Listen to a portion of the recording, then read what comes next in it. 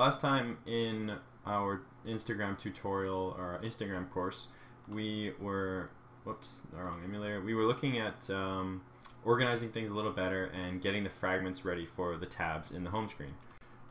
Sorry, I was just getting my emulator running. So we were looking at uh, setting up these fragments at the top here. So we have like our camera fragment uh, right here, our like home fragment right here, and then our messages fragment right here.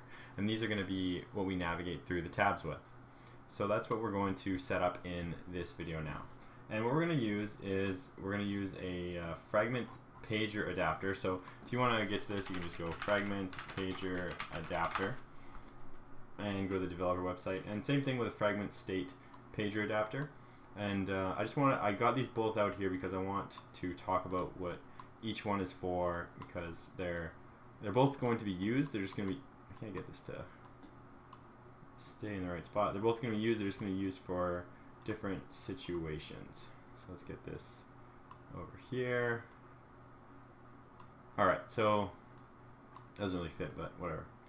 So the fragment pager adapter is what we're going to use for tabs. And the reason we use it for tabs is it's a little faster. So it's better for if you have only a small number of fragments. So if you read this description right here, it tells you that. It keeps them in memory and so they can be accessed more quickly. So it's basically good for like if you're going to use one to five fragments, anywhere in that range. So that's why I use it for tabs. But if you were to use like a whole bunch of fragments, like, you know, say you had 100 fragments, like, I don't know, suppose you had a whole bunch of buttons down here and a bunch of other fragments that you wanted to navigate to, you would use a fragments fragment state pager adapter. And this is just going to be better for if you um, have a bunch of fragments because then they get destroyed. They don't get stored in memory because these will get stored in memory. So if you had a hundred of them, they, it will actually it'll actually slow down your app like a lot. So you're probably like, I don't even know what you're going to use that for. So I'm going to show you in just a second here. We we use it to um, set up the adapter that adapts the tabs to the fragments. So I'll show you what I mean here. So we're going to go into home and we're going to create, we're going to call it sections pager adapter. And the reason I call it sections pager adapter is if because we look in, uh, let's see, activity, no, the middle one, center, center layout view pager.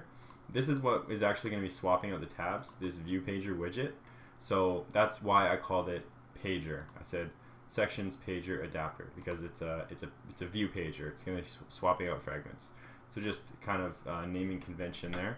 And so now we're going to state, now this is where we're going to extend that fragment state pager adapter. So fragment state, no, sorry, not state, fragment uh, pager adapter. So just this one right here.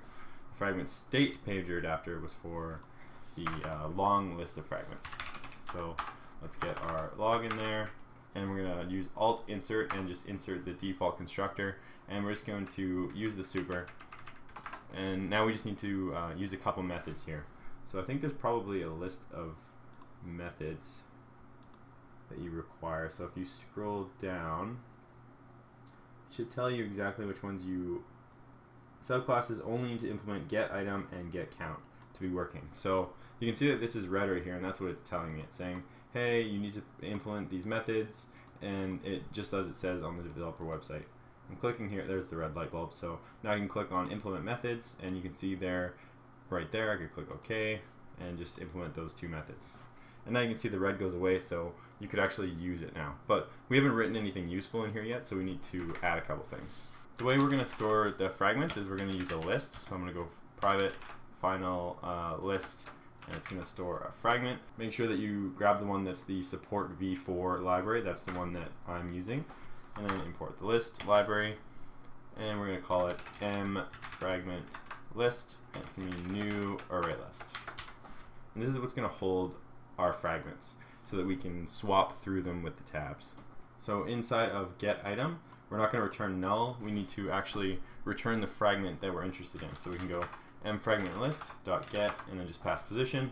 And then get count is going to be uh, m fragment list dot size and now we're almost done. We have our list. We have the ability to get an item from the list. We have the ability to look at the count, although this doesn't really matter. We just put it here because we're required to. Now we just need a method to actually add the fragments to the list because you can see this is private, so this this list isn't going to be accessible from any other classes. So we need to actually write a method, a public method, to add the fragments to the list. So we can go public void add uh, add fragment, and of course it's going to be a fragment, and then we just do m fragment list dot add and add the fragment, and that should be it. So this is all we need to do for the sections pager adapter.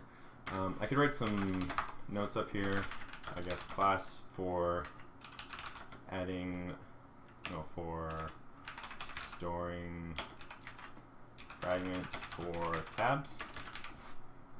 I guess, no, class that stores fragments for tabs. Uh, yeah, that should be fine.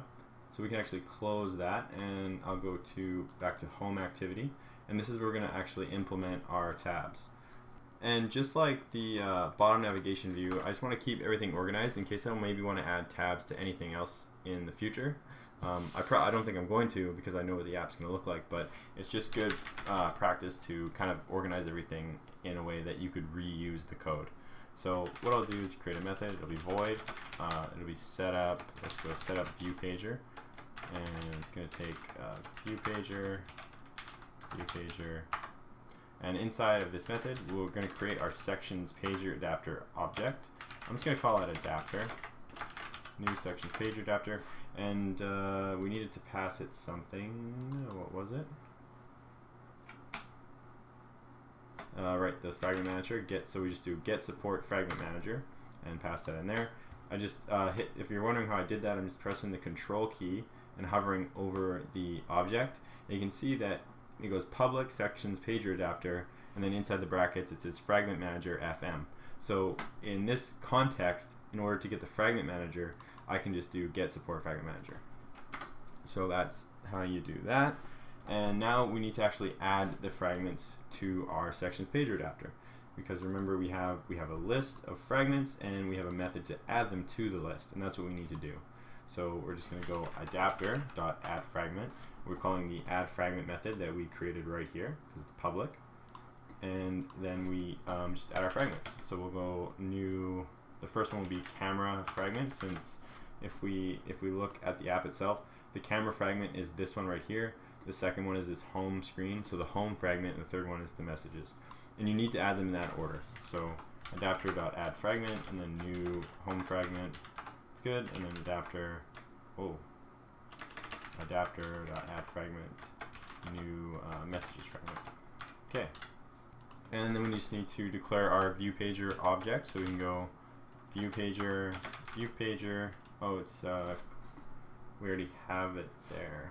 What I was originally going to do was create the viewpager object in onCreate and then pass it to setup viewpager, but we could just not pass it anything and then just declare it in here and go no equals sorry viewpager and then find view by id r.id dot is container.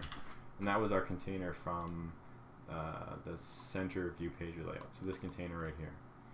So that's actually fine. I can't think of a reason why I shouldn't do that, so we'll do that for now, and I can adjust things later if uh, we run into problems. Then we just need to go view pager and set the adapter and pass our adapter. That should be good. So now we can just call this method in on create and it'll set up our tabs. So that should, that's that's uh, that's very simple. We have nice, clean, concise code right now. I can uh, write some notes up here saying uh, responsible for uh, adding the three tabs, camera, home, and messages. Now we just need to actually connect it to our tab layout. So we can go tab layout, tab layout equals tab, oh that was weird, uh, tab layout, find ID, r.id dot, I believe I named it tabs. And that is not happy. Oh, I put table layout, whoops, tab layout there. And then we just do tab layout dot setup with view pager and then pass our view pager. So we just go view pager. Pretty simple. Now everything to do with the tabs is completely contained in this little method right here. So let's uh, let's run it and take a look at it. Oh, looks like we have a crash. Let's take a look at the log. We'll go to Android. We're just gonna go down here, click on Android monitor, and open this up. Um, which one is it? Should be this guy right here. That's not a meaningful, or was this one? No, it should be this one right here. There we go. Okay, so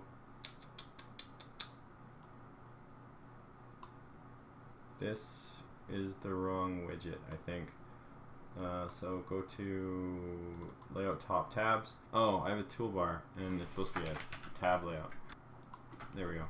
Yeah, I said the wrong widget there. Sorry about that. Let's rerun it.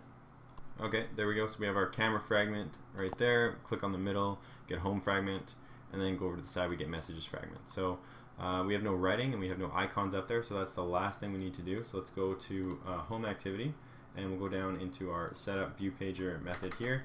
And it's really easy to set icons to tabs. We just go get tab at uh, index 0 and then set icon and we set our icon. So we go r.drawable dot, um, the first one was camera and so this this index right here is going to match the same order that we added them in up here. So the camera one is 0, this one is 1, and then this one is 2. So index 0, index 1, index 2. And yeah, so then we just do the same thing, tab layout, get tab at 1, set icon r, oops, r dot drawable dot ic uh, home, I think it was. No, ic home. Uh, Instagram.